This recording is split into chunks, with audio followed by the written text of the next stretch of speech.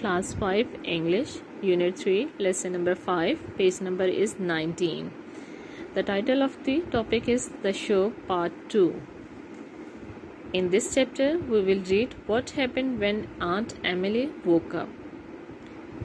Let's start. When aunt emily woke up she thought at first that the group of small boys around her was a dream then she sat up and saw the things on the beside the table, the notices, and finally William dressed as the showman. She sprang out of bed and seized William by the shoulders.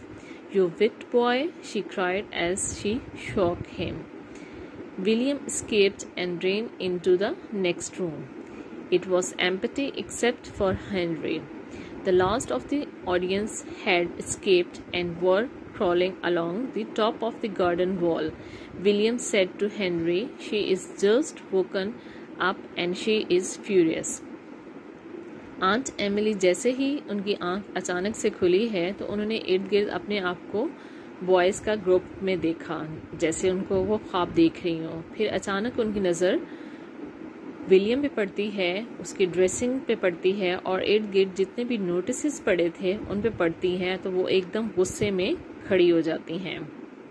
Aunt Emily was moving noisily around in her room let's count the money said Henry they counted four pound and fifty pence that's pretty good said William without aunt Emily we were only going to make about two pound और so suddenly aunt Emily door open and the boys could hear her heavy steps coming down the stairs.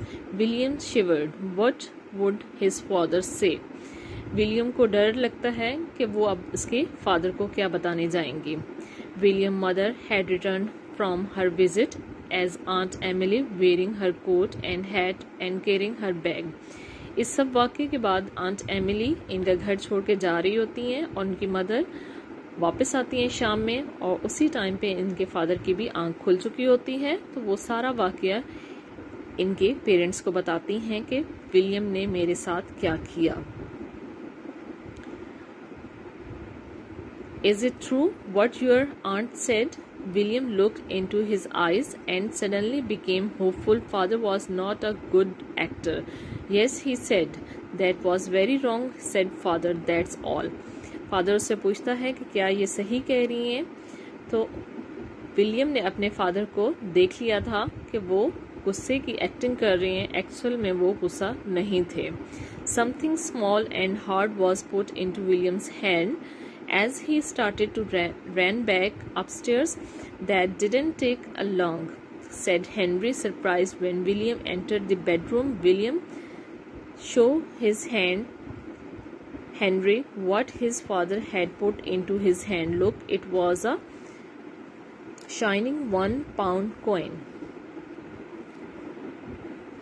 Okay, now student, after the reading, you have to prepare the notebook page. At the top, you have to mention date and day. Unit 3, lesson number 5, page number 19. Words, meaning. Finally आखिरकार escape बचना furious गुस्सा suddenly अचानक shiver कांपना stare घूरना विक्ट शरीर। Now student this is the end of the today lecture